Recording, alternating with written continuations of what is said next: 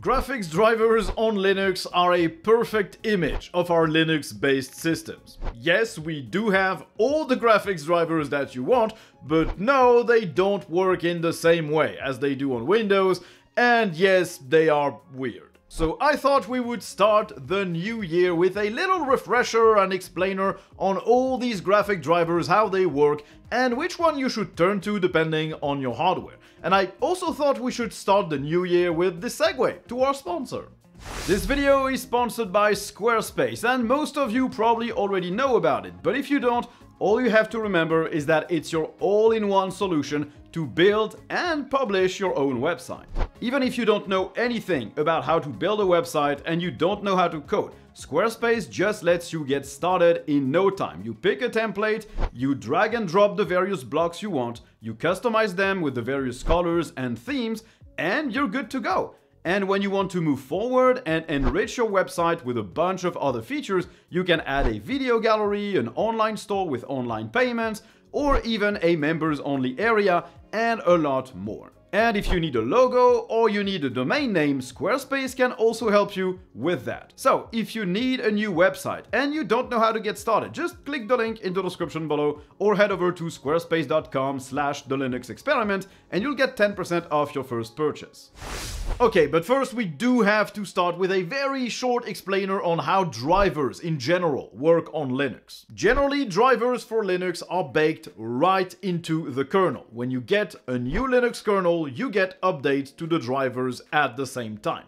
Everything is in there and in theory, you don't need to download and install anything else. Except that's not the case 100% of the time. Drivers can also be provided outside of the kernel for things that were not merged or approved or that cannot be added to the Linux kernel itself, either because of a licensing issue, as in they're not compatible with the GPL, or for other reasons. And that's why you can find drivers for Linux that you have to install yourself, for example for Realtek Bluetooth or Wi-Fi adapters, or for certain GPUs, or for certain exotic pieces of hardware. These drivers are provided as kernel modules that are loaded dynamically without needing to recompile a kernel with them.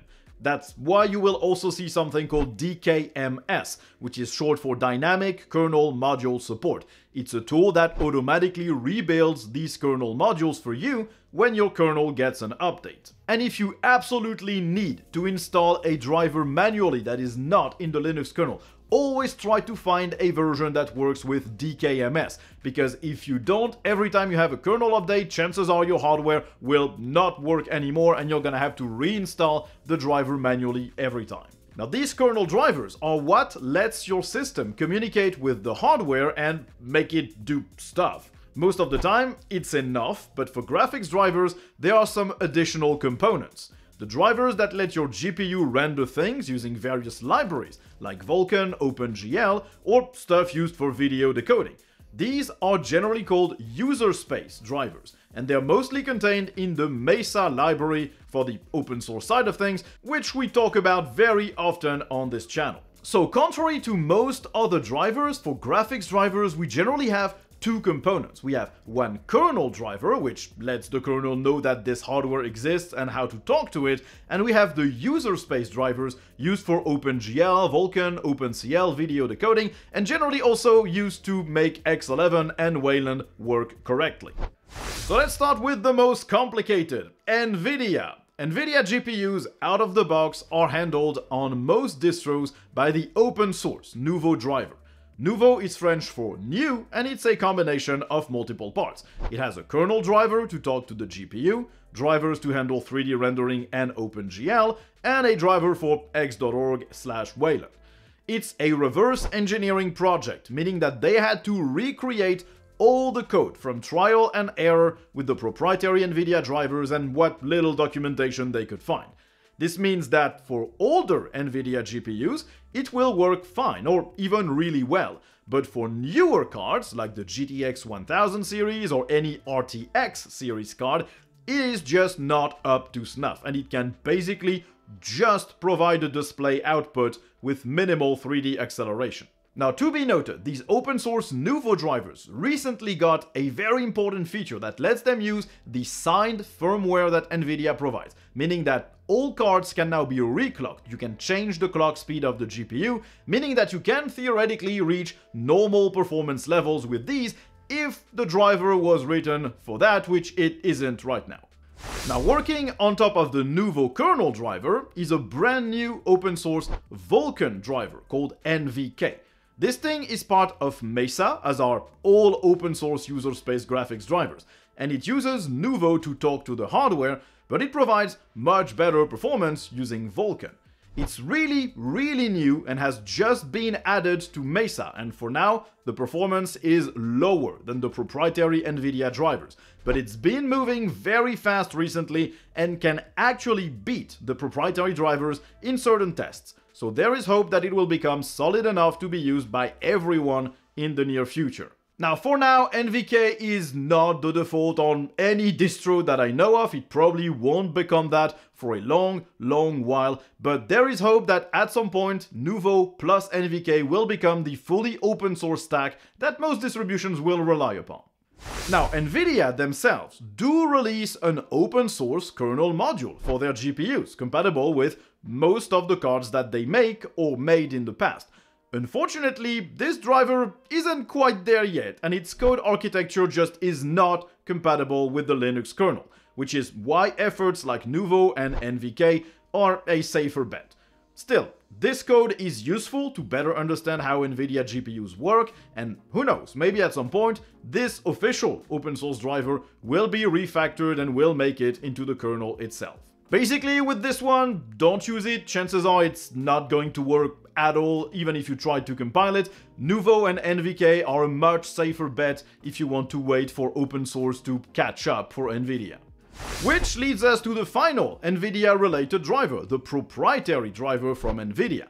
This thing is obviously not open source and it is distributed by NVIDIA directly, although many distributions package it themselves and I cannot stress this enough. Do not install this driver from NVIDIA's website manually. Use the packages your distribution provides. Distro packaged this driver for a reason. It is complicated and using your distro package will always be easier. It will be more stable and it will break less than a manual install. Now this proprietary driver is basically a binary blob that has a kernel module, which needs to be recompiled with each kernel update, and it also contains the user space drivers you need for 3D rendering, using OpenGL, Vulkan, and more. And also what you need to work with X.org and Wayland. It's an all-in-one package. If you have a semi-recent NVIDIA GPU, like a GTX 1000 or an RTX, that's the driver you want to use right now. And while it is not perfect, the latest version, 545, is solid enough even for use with Wayland. This is the driver I use to power my hybrid graphics Intel plus Nvidia laptop that I use to make all these videos, render everything, play most of the games that I play. It works, it really does work, even on Wayland, but some distributions do not package it correctly, some users install it incorrectly from Nvidia's website, and so it has a very very bad reputation that still sticks to it. And for older GPUs, you will probably be better served by the Nouveau drivers that will have faster performance. Now important to note, only those proprietary drivers will give you access to CUDA, which is something that you might need depending on what you do on your GPU. So that's it for NVIDIA. Unless you have a very old NVIDIA GPU, you do need to use right now the proprietary NVIDIA driver. But there is some good hope with Nouveau and NVK that before the end of 2024 you might be able to get really decent performance without having to install anything else and without all the little issues that the proprietary driver has. Now let's move on to AMD. The kernel driver for AMD GPUs is called, well, AMD GPU. It is open source and that's what handles the GPU itself, like powering it on, changing the clock speed and stuff like that. If you use any Linux distro on AMD hardware, you are using this out of the box, it's really solid, you don't need to do anything. On top of that, you get the Radeon SI and RADV drivers, which are the user space components so all the libraries to use OpenGL and Vulkan. This is part of Mesa, and it needs the AMD GPU kernel driver to work. And you do have two optional open source components as well, AMD VLK and ROCm. AMD VLK is a new Vulkan driver for Linux. It's based on the code of AMD's proprietary driver, which we'll talk about in a moment. The second optional component is ROCm. That's a library to let you use OpenCL and HIP on the open source AMD GPU driver. Not everyone will need any or both of these, and generally for AMD cards you don't need to do anything. You slot the card in your computer or you buy it with it pre-installed and you install your distro and all the drivers are already there. You don't need to look for drivers or anything. Everything is already in there and it works really, really well. But AMD does provide a proprietary driver called AMD GPU Pro. It uses the AMD GPU kernel driver as the base, but it replaces Radeon SI and RADV as the user space component to support Vulkan, OpenGL, OpenCL, and more. It is meant either for LTS distro users that would never get updates to Mesa, for example, or for people using workstations, or people depending on OpenCL, because the ROCm open source implementation we just talked about will not work with everything, notably, for example, with DaVinci Resolve. Now, this AMD proprietary driver does not have great performance compared to the open source drivers, so only use it if you use a workstation and you do compute tasks that aren't supported by the open source stack. For most use cases for AMD, don't bother, you don't have to do anything. You install your distro, you have the Mesa drivers and the kernel drivers in every single distro out there, and it's gonna work perfectly. Now, as per Intel, things are a bit weird. First, you have the i915 driver. This is what handles all integrated GPUs from Intel as the kernel driver. On top of that is i965, which is the user space component with a terrible name. It implements OpenGL and that's bundled with Mesa as well. And on top of that, you have ANV, which is the Vulkan driver for Intel GPUs, which is also part of Mesa. So that's the basics. For Intel cards, you generally don't need to do anything. Everything is in the Mesa drivers or in the Linux kernel, and support is pretty good. You don't have to do anything, whatever the graphics card you have from Intel. Intel, though, is also working on a new driver, specifically for Xe graphics. It aims to replace the kernel driver called i915, with the user space bits remaining as they are with i965 for OpenGL and ANV for Vulkan. This new Xe driver hasn't been merged yet, it's apparently not ready, but we should probably see it in 2024. So for Intel, it's just like with AMD. You have nothing to do. Everything is in the Linux kernel or in the Mesa drivers or in both, so your distro provides that out of the box. The only thing you might want is a newer version of these drivers if you use an old distro, and in that case you just use a more recent distro. So it looks like a mess from the outside and it's definitely messier than on Windows where you would go to the website of the manufacturer, click download and install that and you're done.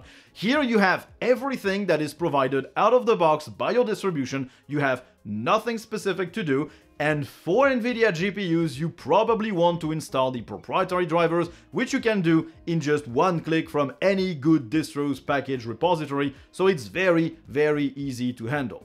All you have to remember is that there's a kernel driver that talks to the hardware and a user space driver that's used to actually interact with the graphics APIs like OpenGL, OpenCL, Vulkan, like rendering your games, your windows, and everything like that. So this will be it for this video. I hope you learned something. If you watched this, hopefully, let me know down there in the comments. If I missed anything, let me know in the comments as well. If I misunderstood something, let me know in the comments as well. And in the meantime, I'll let you know about our sponsor. Since we're talking about graphics and hardware, we just have to talk about Tuxedo, our sponsor. They're a Linux hardware manufacturer. They make laptops, desktops, and NUCs that ship with Linux out of the box. All the hardware has been picked specifically because it all runs well with Linux. They actually submit patches upstream to fix the various problems that they mount and counter.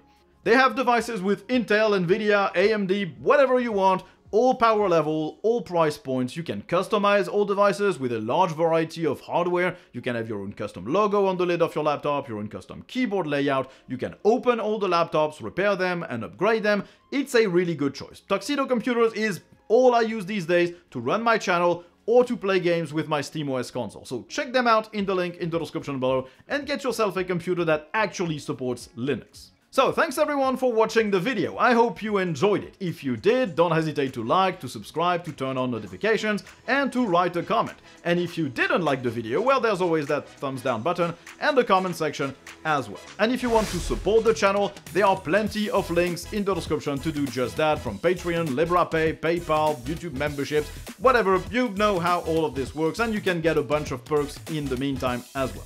So thanks for watching, and I guess you'll see me in the next one. Bye!